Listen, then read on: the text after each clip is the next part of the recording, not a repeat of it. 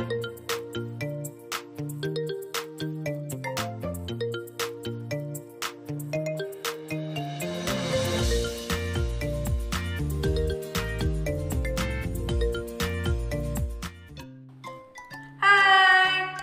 am Rinta. I love to study in the Little Einstein because I have a lot of experiments, just like making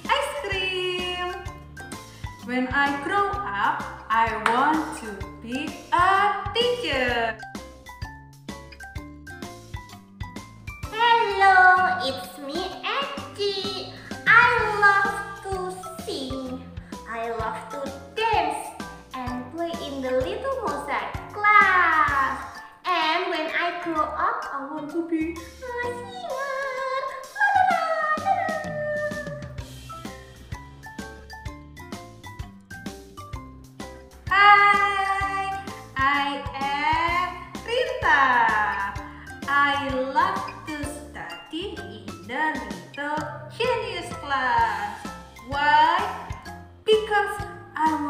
To be a genius person. Whoa!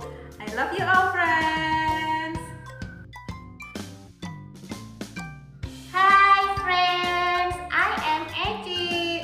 I love to play in the little architect class because I can build many things. And when I grow up, I want to be an architect. I want to build a very tall building.